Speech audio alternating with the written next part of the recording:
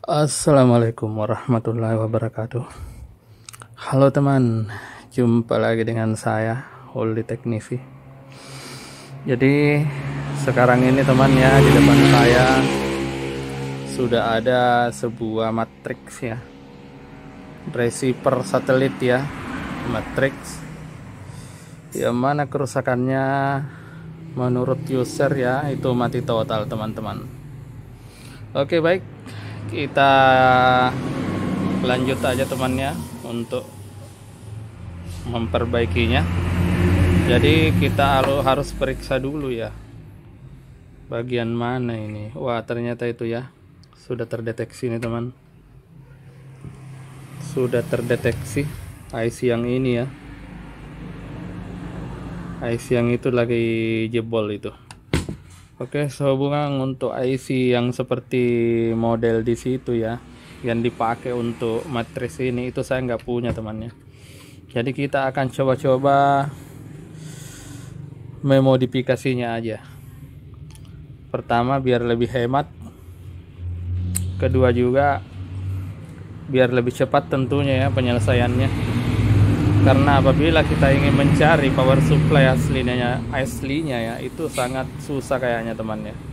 Membutuhkan waktu yang agak sedikit lama. Harus beli online pasti membutuhkan waktu pengiriman. Sementara yang punya cuma memberi waktu dua jam ya temannya untuk saya ini.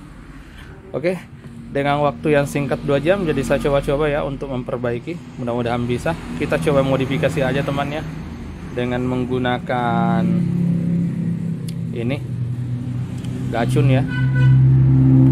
Karena kebetulan untuk power supply yang sejenis ini saya tidak punya temannya karena ini adalah power supply yang ada tegangan 3,3 voltnya itu ya. Ya kelihatan ya. Ya betul ya 3,3 volt gitu. Sementara power supply yang saya miliki itu paling rendah tegangannya adalah 5 volt teman Oke, jadi kita langsung bongkar aja untuk power supply-nya dulu.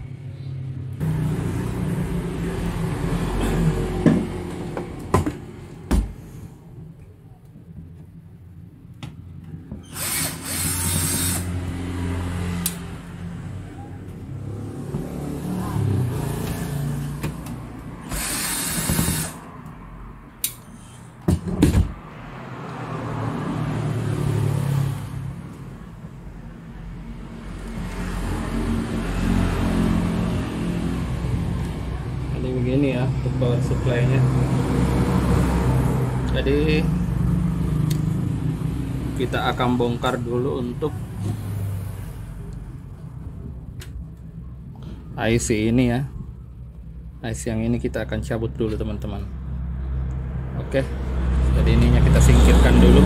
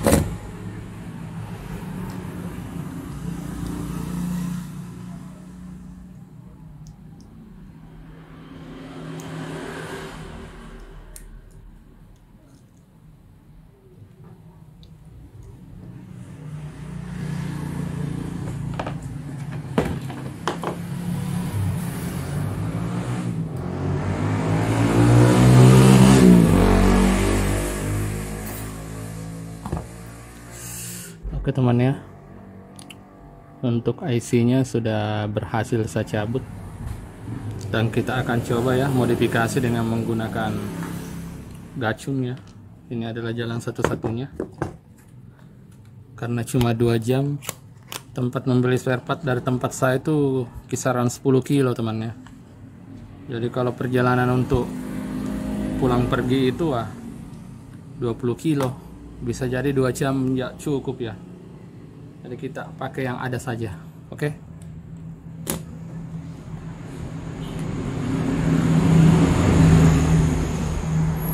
jadi pertama-tama ya untuk kabel untuk gacung ini.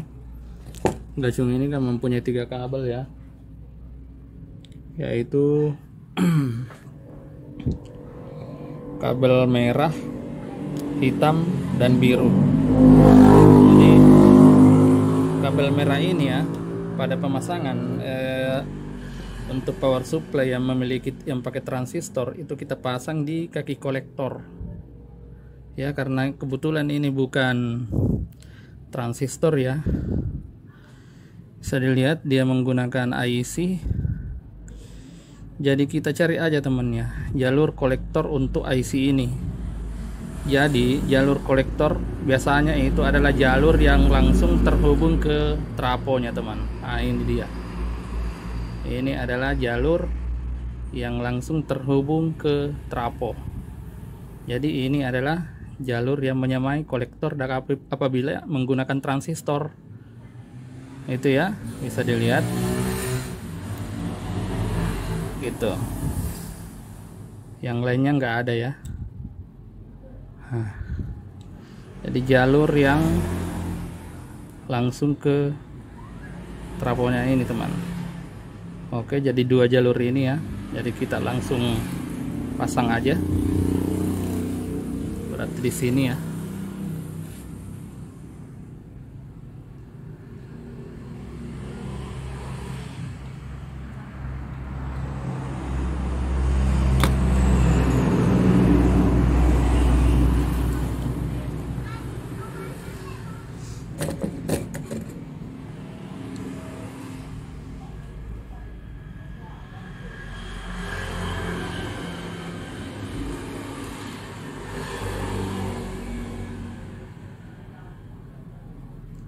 udah. Terus kemudian untuk kabel hitam ya.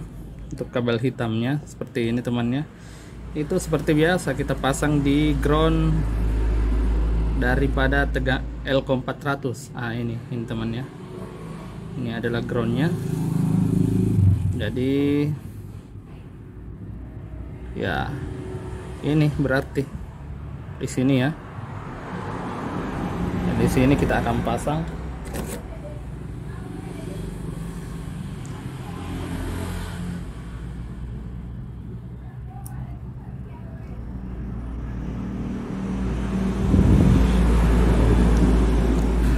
Oke ya. Nanti kita rapikan ya. Nah. Terus kemudian kabel biru ya. Kabel biru itu kita pasang di kaki nomor 4 fotokoplernya teman ya. Nah, untuk mengetahui kaki nomor 4 fotokopler itu di belakang daripada yang ada titik teman ini. Ini adalah titik satu ya. Berarti 1 2 3 4 berarti kaki empatnya adalah yang di sini. Itu. Kaki empatnya berarti yang ini teman ya. Jadi bisa kita ambil di jalurnya saja. Nah, jalurnya bisa di sini ya. Itu gitu. Jadi kita ambil di sini saja. Yang satu jalur ya. Seperti itu ya.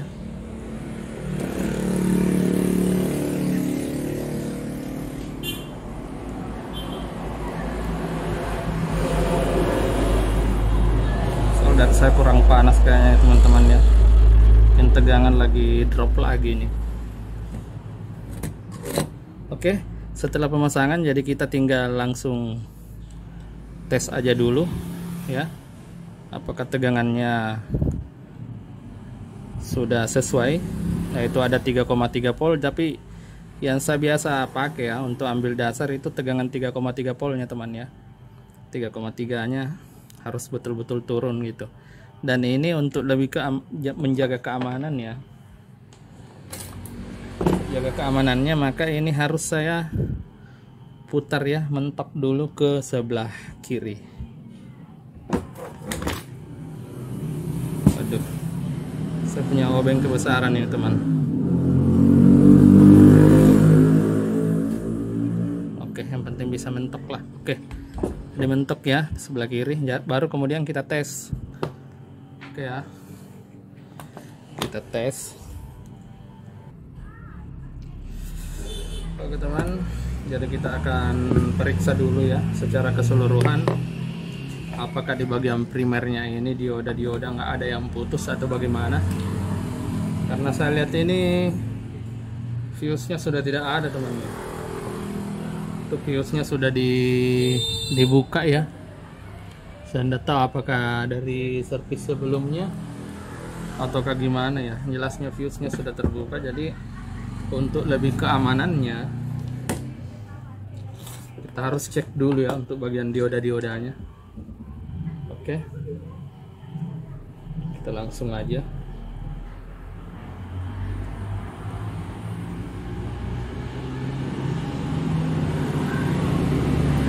Oke sepertinya aman ya teman ya tapi walaupun begitu kita harus lebih berhati-hati tentunya ya. Yaitu untuk menghindari jangan sampai ada yang koslet jadi kita wajib memasangkan atau menseri ya menserikan dengan lampu yang begini temannya. Ini gunanya apabila terjadi koslet pada power supply ini maka eh, lampu itu tidak sampai turun ya MCB nya lampu tidak sampai turun MCB-nya teman. Jadi karena kebetulan ya untuk MCB saya di tempat saya ini ya teramatlah tinggi. Jadi apabila terjadi koslet dan menyebabkan MCB di luar turun, wah saya harus pakai tangga lagi itu. Jadi oke, okay, saya jadi untuk mengantisipasi agar supaya apabila terjadi koslet itu KWH tidak turun, maka kita harus memasangkan ini lampu pijar ya lampu pijar yang 100 watt ya. Oke kita langsung pasang aja lampu pijarnya. Oke seperti ini teman ya jadi ini sudah saya share ya dengan lampu. Jadi kita langsung mau melakukan pengetesan aja dulu. Ya jadi ini akan saya colok nah, lampunya nggak nyala ya berarti bagus. Jadi saya mau pastikan dulu ya untuk pengukuran tegangan-tegangannya ya teman-teman ya. Untuk tegangan 3,3 voltnya berarti di sini ya.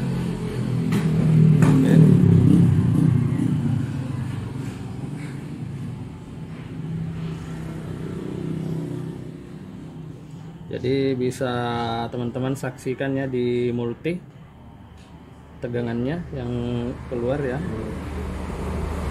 Kayaknya masih nol ya. Masih nol ya.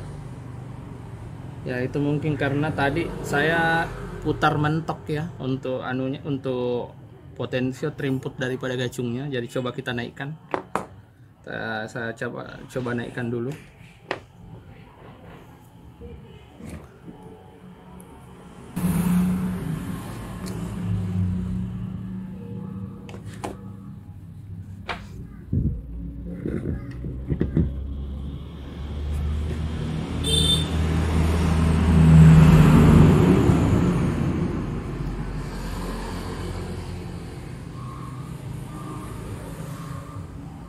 Kayaknya ada kelainan ini teman ya. Di elko besar saja itu tidak terukur tegangan ya. Pantasan aja untuk outputnya ini tidak ada pengeluaran ya. Di elko nya ini nggak ada. Ya, elko besar saja itu cuma terbaca 0,4 ya.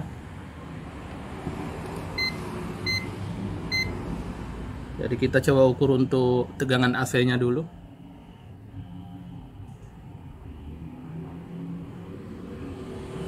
Tegangan AC terukur 200 ya 200an berarti tegangan AC muncul. Nah, untuk input yang ini ya.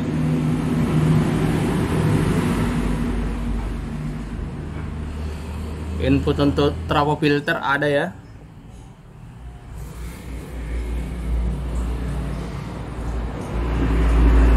Ah di sini dia teman-teman untuk permasalahannya di output trapo filter ini itu tidak ada ya. Jadi di output daripada trapo filter ini itu tidak ada tegangan. Berarti mungkin trapo filternya ini ada masalah juga gitu. Jadi oke okay, kita baik. Kita coba jumper dulu ya. Jadi kita coba jumper dulu untuk trapo filternya. Oke temannya. Jadi untuk ini ya sudah saya jumper ya. Saya cuma jumper langsung karena ternyata trapo filternya itu juga ada putus teman. Jadi saya jumper aja langsung ya.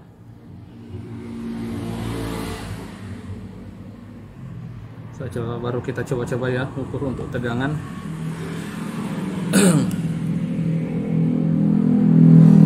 Ini groundnya ya.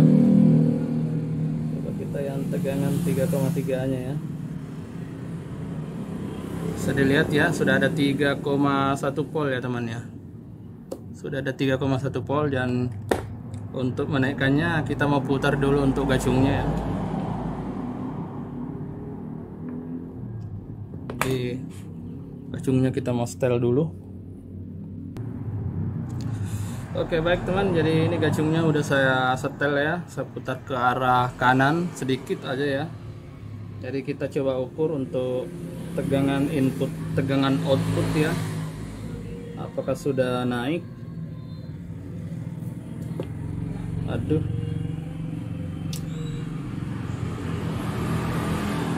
Jadi terlihat ya temannya sudah ada 3,5 volt jadi berarti kalau begini kita ukur ya di tegangan 22 nya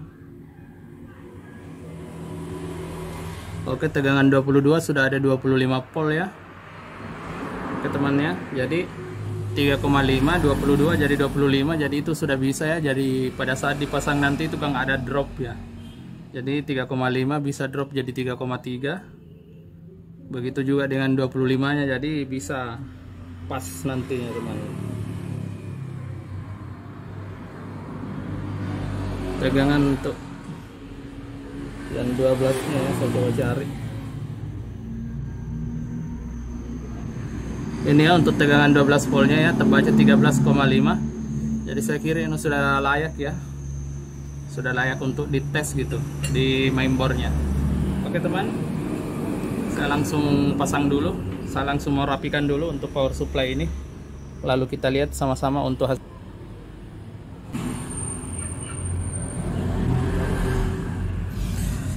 Oke teman ya.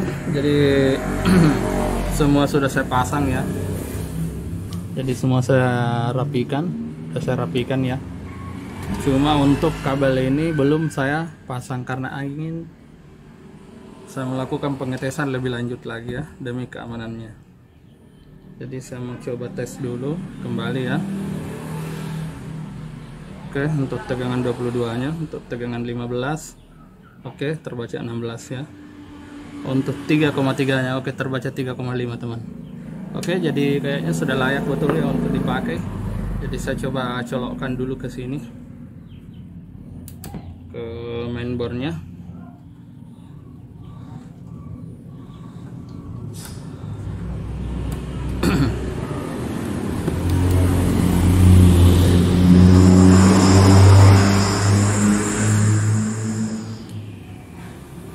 Dan ini hasilnya teman-teman.